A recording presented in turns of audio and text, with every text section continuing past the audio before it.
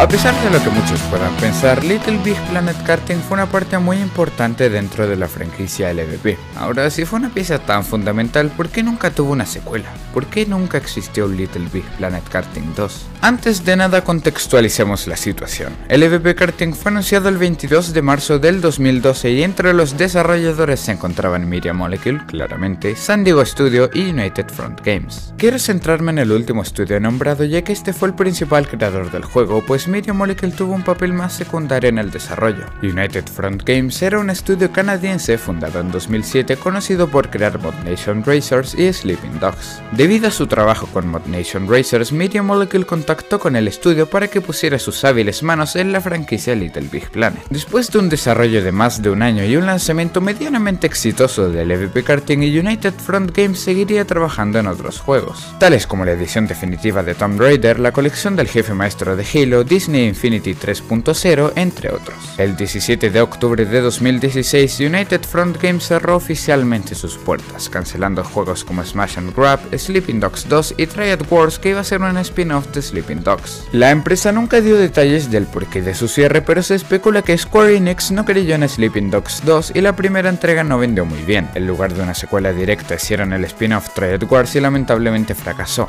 En consecuencia, la empresa no dio abasto y murió. Es muy probable que nunca llegue un nuevo juego de Little Big Planet Karting, pues sus creadores cerraron y Media Molecule está centrado en Dreams. Sumo Digital podría ser un gran candidato en la creación de este hipotético título, ya que ellos tienen el mando de la franquicia en este momento y además ya tienen cierta experiencia con los juegos de carreras. Personalmente me gustaría mucho más un remake o un remaster del juego original antes que una secuela, pero esa es mi opinión. Déjenme saber sus opiniones en los comentarios. Sin más que decir, yo me despido por acá. Denle like al video, suscríbanse al canal y nos vemos en la próxima con más contenido de Little Big Planet. Chao, chao.